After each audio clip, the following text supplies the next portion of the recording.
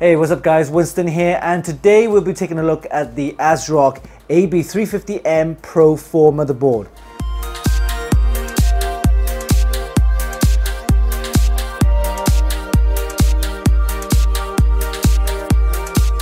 This motherboard suitable for all of the AMD Ryzen processors uh, AM4 socket, including the latest 2000 series. It features two M.2 slots for your SSDs as well as two 16 times PCIe slots, which means you can add additional graphics cards for crossfire configuration. Uh, not to mention, it has uh, four DDR DIMM slots as well as USB-C and uh, gigabit LAN and also the RGB headers. To test this motherboard, we'll be putting one of these in. It's the AMD Ryzen 5 2400G with the built-in Radeon Vega graphics. So it'd be interesting to see what the performance would be like. Let's start building our test rig, uh, but before then, we'll do a quick unboxing, so enjoy.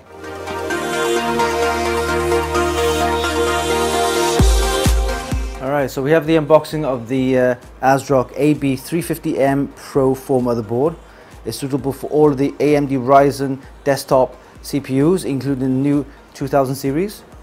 Um, let's begin. All right. So, do we have here? We have the uh, SATA cables. Yes, two of them there. SATA cables. Uh, the I/O shield. Um, there's two screws for your M.2 slots for SSDs. Um, this is your instruction manual, quick installation guide, yep, and the uh, driver disk. And there's a quick memory configuration information. And uh, so look at the motherboard. Okay, so we have the motherboard, and it's a micro ATX form factor. It's uh, nice and compact. Alright, we'll start off with the uh, DDR DIMM slots here. We have four DDR DIMM slots. Support up to uh, 3600 OC. Okay. Your ATX power here, 24 pin ATX power, USB 3, and uh, four uh, SATA connectors here. And then along here we have the usual uh, configuration for your power switch resets. Yep. USBs okay.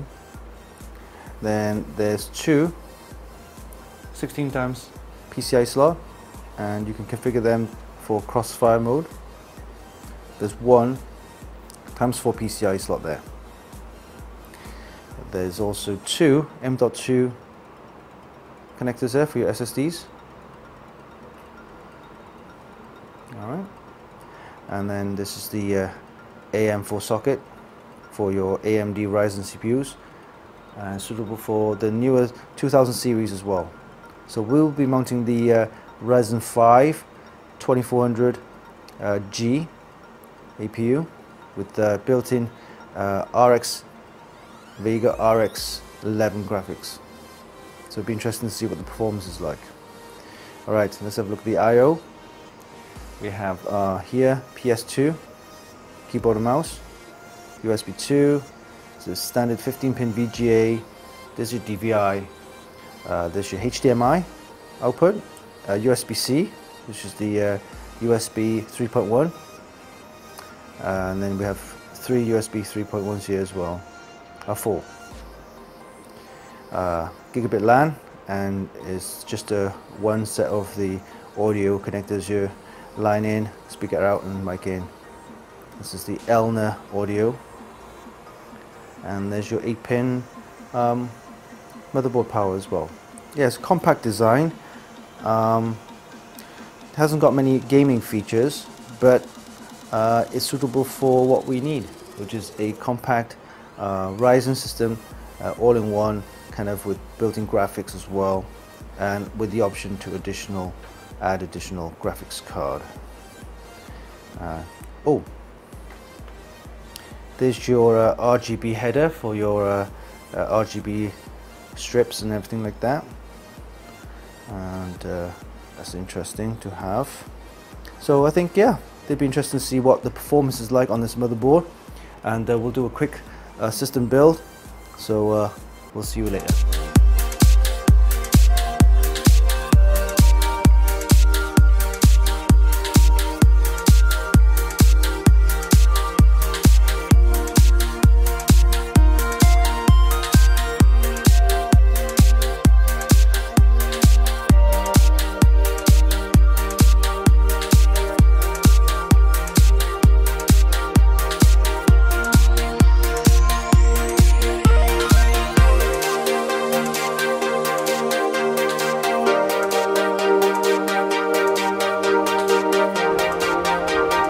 We completed our build and it's all nicely fitted in a Cooler Master Q300P chassis. As you can see on this side we have the Corsair H115i Pro RGB cooler. It's an all-in-one 280mm radiator with uh, two 140mm RGB magnetic uh, levitation fans. For the motherboard we have the ASRock AB350M Pro 4 and it's a micro ATX board as you can see and uh, we've paired it with the AMD Ryzen 5 2400G uh, processor, the APU. We also have the uh, Patriot Hellfire SSD uh, and we've added a heatsink, a nice uh, heatsink, a heat spreader on top. And to finish off, we've added uh, three more of the RGB fans. This is the Corsair LL120, two in the front and one at the back here so uh, this will look very nice with all the RGB effects. When we switch it on we're gonna add a 750 watt or possibly 850 watt power supply uh, which will sit nicely here and this will power everything up. We decided to get the uh, micro ATX motherboard because it has two 16 times PCI slots.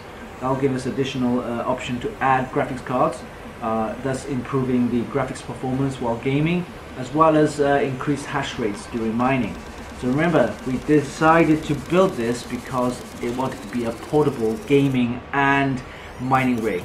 So you have mining on the go or gaming uh, at any place uh, during LAN parties and uh, events like that. So yeah, I'm pretty pleased with the build. Um, again, just need to add a power supply back in and then uh, we're ready to go. The built-in graphics from the AMD Ryzen 5 2400G uh, in the form of the uh, Radeon RX 11 should give us uh, enough graphics performance for gaming, etc. Uh, I'd be interested to see how well it performs during mining. But uh, if that's not enough, we can always add an additional graphics card. So yeah, I'm very pleased with this build. I'd love to see this in effect with all this RGB when it's ready. So thanks for watching. Hope you like this video. Uh, give us a like and leave a comment below. You can actually purchase all the components in this build via the links down there. And uh, remember, don't forget to subscribe to our YouTube channel and also visit our website. So until then, this is Winston for FunkyKit.com.